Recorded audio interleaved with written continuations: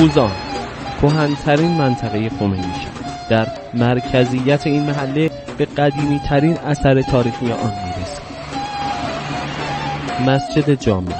قدیمی ترین مسجد از بین هفت مسجد تاریخی خمینی به نام مسجد بزرگ شناخته میشه. مسجد جامعه تاریخی خمینی شهر شناخته میشه. مسجد زنجیری هم شناخته میشه. خشت و گل و چوب. مسالهی که شالوده این بنا را تشکیل می‌دهد. داشتن گنبدهای تاریخی تزئینات تاریخی و همینطور شالوده اصلی این بنا که دوره های سلجوقی هست به خاطر همین این مسجد نسبت مساجد دیگه منحصر به فردش کرده.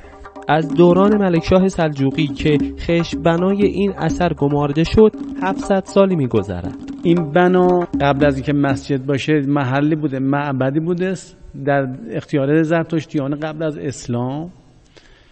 و اینجا عبادتگاه بوده برای اونا. این مسجد از مساجد چهار ایوانی است که داشتن شبستان زیرزمینی وسیع او را از دیگر مساجد متمایز کرده. برای که نمازگزار در زمستان ها بتونن از این شبستان استفاده کنن در زیر زمین ساخته شده. مردم این دیار سال هاست که این اثر تاریخی را حفظ و نگهداری می کنند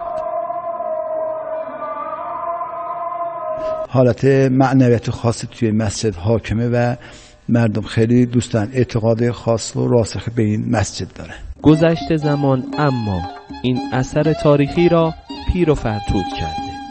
این بنا به عنوان شناسنامه تاریخ خمینی شهر شناخته میشه که بیش از این نیازمند حفظ و نگهداری است. سعید رحیمی خبرگزاری صدا و سیما خمینی شهر.